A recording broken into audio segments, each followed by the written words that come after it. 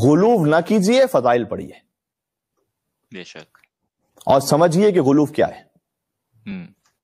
अरश खुदा मकाम जनाब अमीर है। ये कहना गुलूफ नहीं है ये मीर अनीस ने सिखलाया हुआ तरीक़ मद है उनका। बेशक। लेकिन अली रब कहना गुलूफ है। हम्म। तो आप और हम सिरात मुस्तकीम पर हैं। मौला ने खुद फरमा दिया कि रूबूबियत से हमारी तंजीह कर दो यानी हमें रब ना कहो। अब चाहे लुगवी माने के एतबार से कोई कितनी दलील लेकर आ जाए कि भाई हम तो कह सकते हैं लेकिन ना कहें जब मौला ने मना किया तो आप क्यों कह रहे हैं? इसलिए उसमें गुमराही का शायब है ना कहें। हम्म। कि नऊजुबिल्ला जो अली रब कह रहा है वो बातिल है गुमराह है गुलूब है। मौला ने फरमाया हलाक फिया रजुलान मेरे बारे में दो तरह के लोग हलाक हुए मुहिबुन गाल वो मुहिब जो गुलूफ करे और अली रब कहे और मुबगजुन काल और वो कीना रखने वाला जो मेरे फजाइल का इनकार करे। दोनों हलाक है। बेशक। सुबह अल्लाह यानी वो कहे कि ये कैसे मुमकिन है कि अली लिसानुल्लाह है अली अनुल्लाह? तो ना गाली बनिए ना मुकसर बनिए मोमिन बनिए। बहुत खूब बहुत खूब। बेशक सुबह अल्लाह वो भी हलाक हो गया जो अली को अपने जैसा समझे वो भी हलाक हो गया जो अली को खुदा जैसा समझे। बेशक हम्म।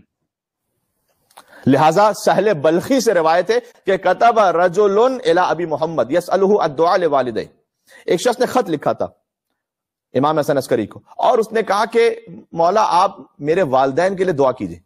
वकानत उम गालिया। अब उसने अपने वालदेन के लिए तो दुआ का कहा लेकिन उसकी माँ गाली थी।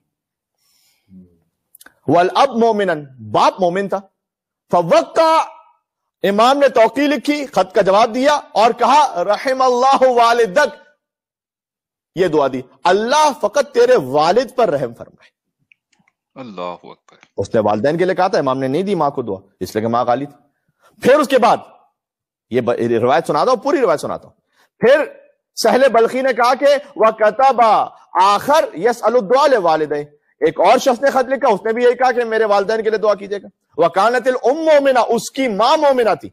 वल अब तनवीन बाप गुमराह था फवक का इमाम ने जवाब लिखा रहम अल्लाह वालिद तक अल्लाह तेरी वालदा पर रहमत नाजिल फरमाए। सुबहान अल्लाह सुबहान अल्लाह लोग इसको कहते हैं ये बैलेंस अप्रोच बैलेंस अप्रोच वगैरह की बात नहीं। मैं कह रहा हूँ सिरात मुस्तकीम पर चलें। चाहे दुनिया को एक्सट्रीमिज्म लगे या ना लगे मौला के रास्ते पर चलें। बस। बेशक। बहुत ये बिहार बिहार जिल नंबर पचास से मैंने सुना है।